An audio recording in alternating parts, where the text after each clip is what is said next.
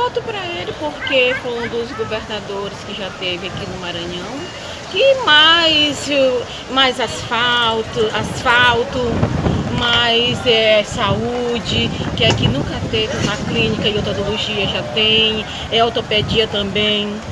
A gente já vê que existe né, dentro do Maranhão que nosso, nosso estado é um estado que poderia ter muito mais, né? Mas todos que passam, infelizmente, é do jeito que é, né? E ele mudou. E ele mudou muita coisa.